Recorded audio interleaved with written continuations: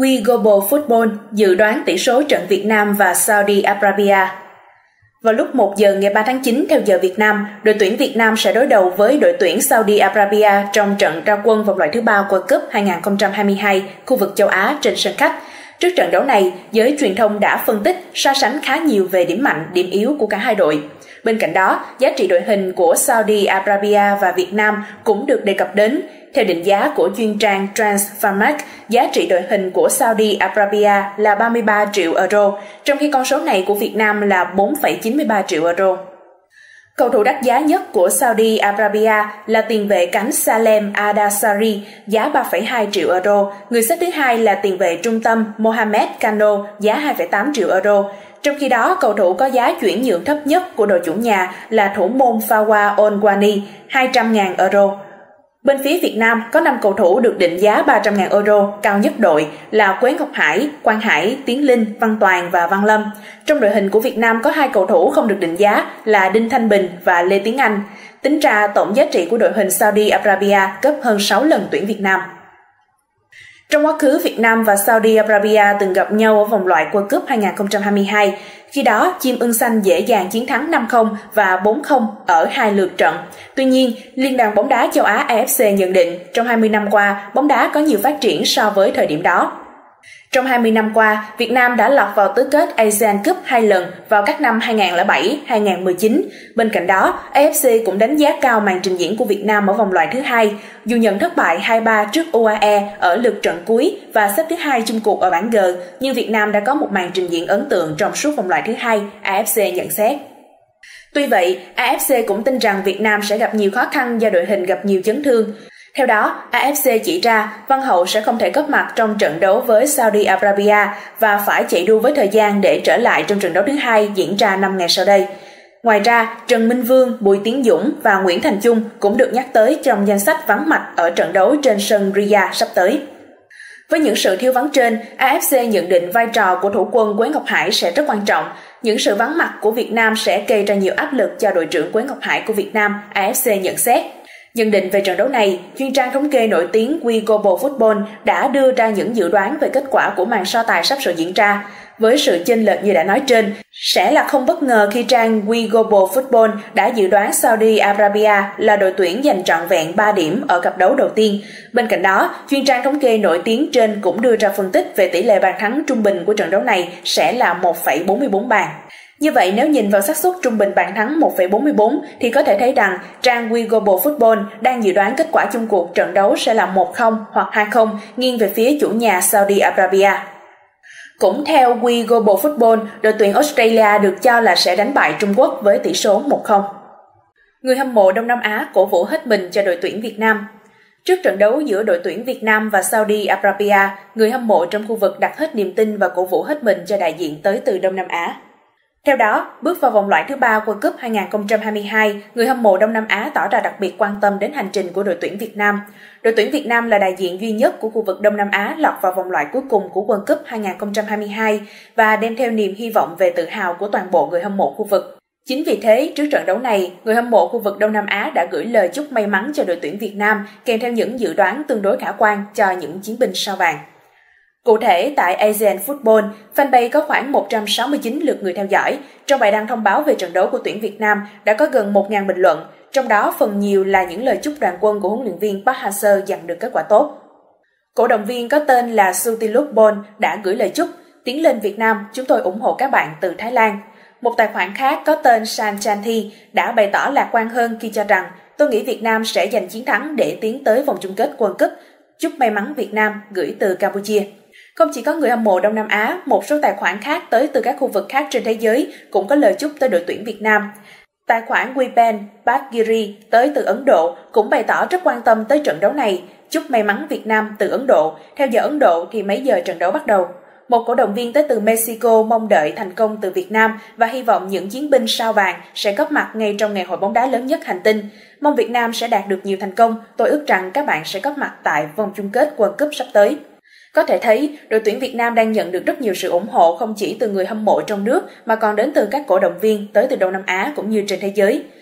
Trước trận đấu giữa đội tuyển Saudi Arabia và Việt Nam sẽ diễn ra vào lúc 1 giờ theo giờ Việt Nam ngày 3 tháng 9 tại sân vận động Marshall Park. Báo Saudi Arabia lật lại lịch sử thắng 9-0 đội tuyển Việt Nam.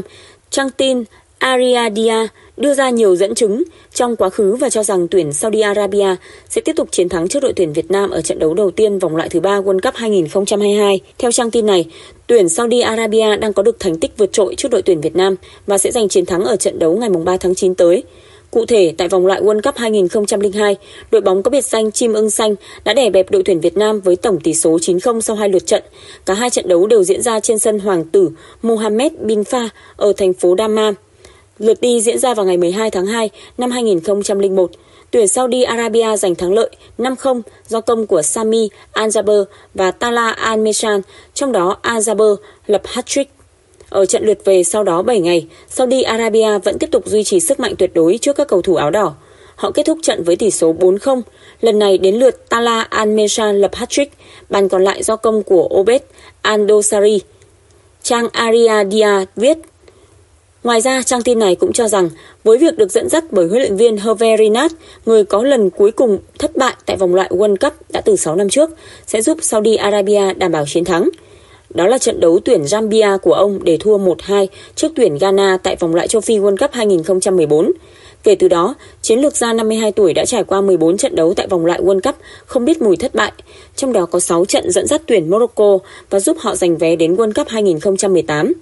Một vài dẫn chứng khác được Ariadia đưa ra là tuyển Saudi Arabia chưa từng để thua trận đấu mở màn vòng loại cuối World Cup nào kể từ năm 1990 khi họ thua Trung Quốc 1-2 hay là việc vị trí hiện tại trên bảng xếp hạng FIFA của hai đội quá chênh lệch. Tất nhiên, đây hầu hết cũng chỉ là những con số từ quá khứ và tương quan sức mạnh hiện tại chỉ có thể kiểm chứng vào ngày 3 tháng 9 Đội tuyển Saudi Arabia đang tập trung cao độ. Bắt đầu từ ngày 29 tháng 8, huấn luyện viên Rinat đã bắt đầu cùng các học trò xem băng hình nghiên cứu về đội tuyển Việt Nam. Trong buổi tập thứ ba, ông đã cho các cầu thủ tập trung vào các bài dứt điểm. Rõ ràng, Saudi Arabia vẫn sẽ lấy tấn công làm kim chỉ nam cho trận đấu tới. Huấn luyện viên Park phản ứng khi việc tuyển Việt Nam thua trắng Saudi Arabia 9 bàn bị khơi lại. Hai trận đấu diễn ra vào đầu năm 2001 thuộc khuôn khổ vòng loại World Cup 2002 tuyển Việt Nam lần lượt thua 0-4 và 0-5 trước tuyển Saudi Arabia. Sau 20 năm, hai đội mới có cơ hội gặp nhau.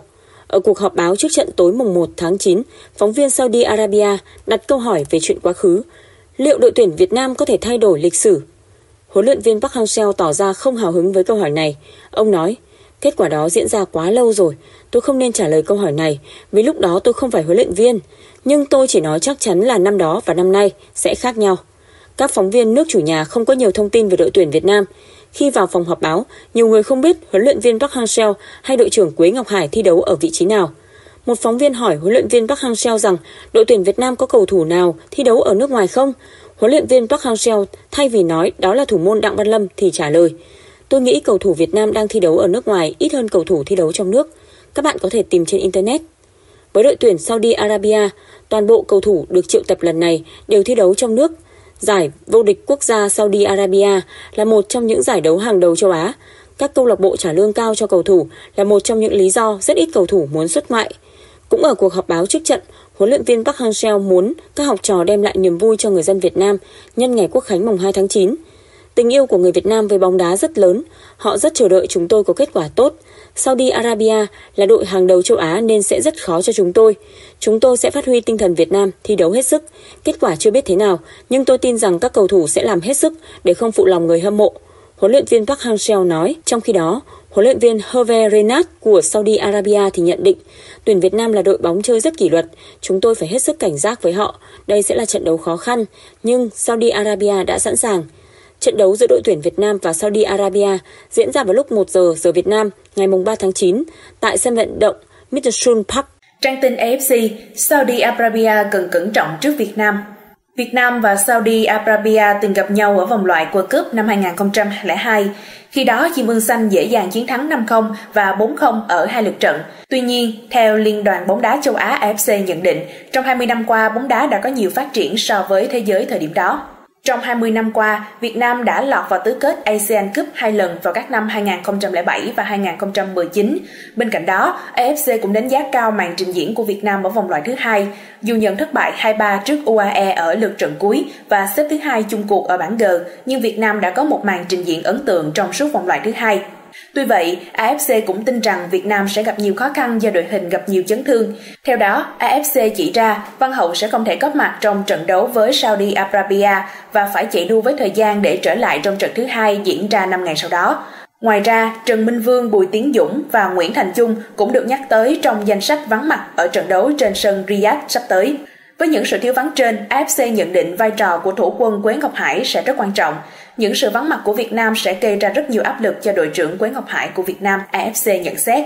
Trong một bài viết khác, AFC cũng nhận định Quế Ngọc Hải là một trong ba cầu thủ quan trọng của Việt Nam bên cạnh Quang Hải và Tiến Linh thời điểm hiện tại. Thủ quân của Việt Nam đã được AFC gọi là hòn đá tảng ở hàng phòng ngự của Việt Nam. Thành tích lọt vào tứ kết Asian Cup 2019 cùng tuyển Việt Nam và vòng bảng AFC Champions League cùng Viettel của Quế Ngọc Hải cũng được AFC đánh giá cao. Theo đánh giá của AFC, thế hệ đội tuyển Việt Nam hiện tại có thể coi là thế hệ vàng mới, New Golden Generation.